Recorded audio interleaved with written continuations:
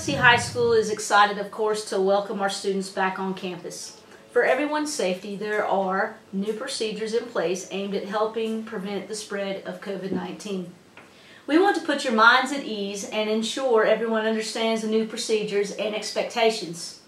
These videos demonstrate some of the key changes that have been made. For information on this and other changes, go to Biloxi Schools Back to School Plan on our website, www.biloxischools.net.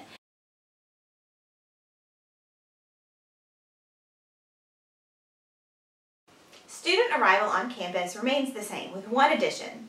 Staff members will be on duty to ensure that students are properly masked before getting out of the vehicle and entering the building. Masks must be worn while moving from the vehicle to the entrance. Remember, bus riders must have their mask on starting when they arrive at the bus stop. Also, all students must wear their ID badge visibly at all times. For more information on Biloxi Public Schools Back to School Plan, visit biloxischools.net and click on the Back to School Plan logo. Students wanting breakfast will pick up a grab-and-go breakfast from the cafeteria, then report immediately to their first period class. Social distancing will be maintained when students are picking up a grab-and-go breakfast. Additional staff members will be on duty and physical markings will designate the required six feet of distance between all people. Students not eating breakfast will report directly to their first period class. For more information on Biloxi Public Schools Back to School Plan, Visit biloxischools.net and click on the Back to School Plan logo.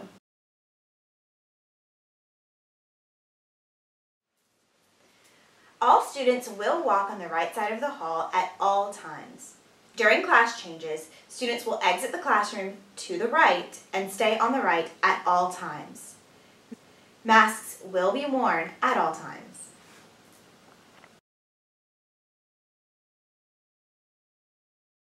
Students must wear a face mask in transition and while in the restroom.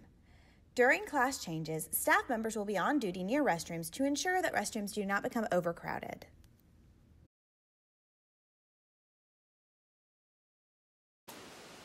Between each class, desks will be sanitized.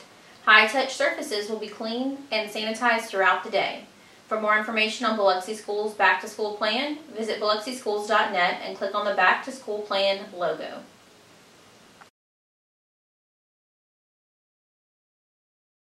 All students, faculty, and staff must wear a mask while on campus. Masks should cover the nose and mouth. Students who are not wearing a mask will be asked to comply. Students who do not have a mask or do not comply will be reported to an administrator. When physical distancing can be achieved, masks can be removed only if the classroom teacher specifically gives permission to do so. Student and staff badges should be visibly worn at all times. For more information on Biloxi Schools Back to School Plan, visit biloxischools.net and click on the Back to School Plan logo.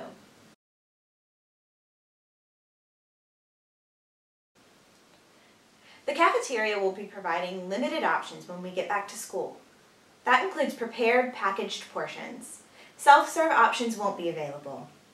For touchless number entry, students will scan a barcode on their badge. Additional staff members will be on duty, and physical markings will designate the required six feet of distance between all people. Seating areas at tables will be physically distanced. Students will be assigned a designated lunch area, which will be indicated on their badge. Only while seated and eating may students remove their masks. Students must put their masks on before getting up from the lunch table. For more information on Biloxi Public Schools Back to School Plan, visit biloxischools.net and click on the Back to School Plan logo. Release times will be staggered. Teachers will release with their students, keeping them on the right side of the hall. They'll walk with students as they exit their designated location. Masks are mandatory and will be worn until students are inside vehicles and bus riders will continue to wear masks until they are released from the bus. For more information on Biloxi Schools Back to School Plan, visit biloxischools.net and click on the Back to School Plan logo. We hope this information has helped you understand that a traditional opening may not be normal, but with everyone's help and cooperation, we can create a safe and successful school year.